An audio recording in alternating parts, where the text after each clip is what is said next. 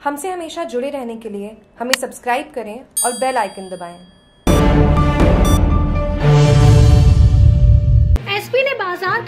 जायजा मास्क का किया वितरण।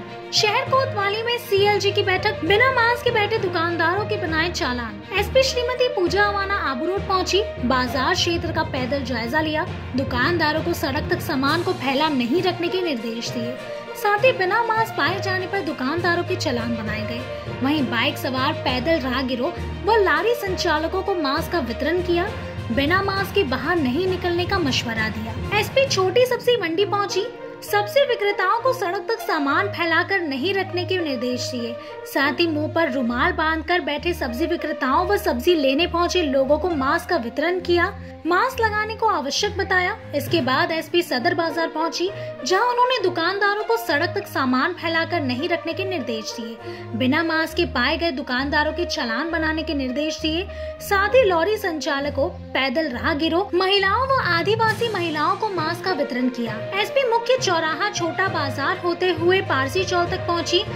एसपी व पुलिस लवाजमा को देखकर बाज़ार क्षेत्र में एक बार की हड़कम मच गया।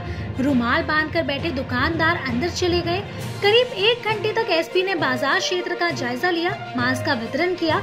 इस दौरान डीएसपी प्रवीण कुमार, शहर कोतवाल ओम प्रकाश विशोई एएसआई सीताराम डांगित व ट्रैफ़िक इंचार्ज मुस्ताक कुरैशी समेत बड़ी संख्या में पुलिसकर्मी मौजूद थे। दीपावली पर्व के तहत शहर कोतवाली में एसपी की अध्यक्षता में सीएलजी की बैठक आयोजित की गई।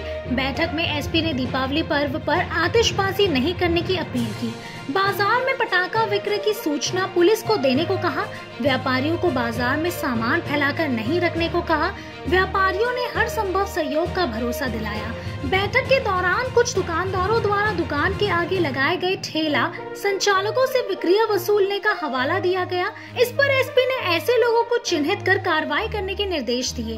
सीएलजी सदस्य ने दीपावली पर्व पर शहर के बाहर डाइवर्ट किए गए यातायात को शहर में से होकर जाने की मांग की।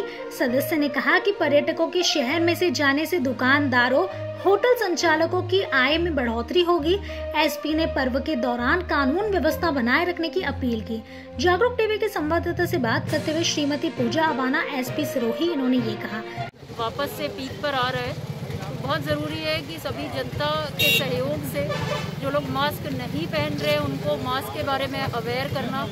नो मास्क नो एंट्री जो सरकार का अभियान है तो उसके प्रति लोगों को जागरूक करना बहुत आवश्यक है। तो आज का जो सीएलजी की मीटिंग थी और जो पूरी शहर में गश्त थी तो उसी के संदर्भ में थी कि मास्क लगाना बहुत ज़रूरी है। मास्क ही फ़िलहाल वैक्सीन है।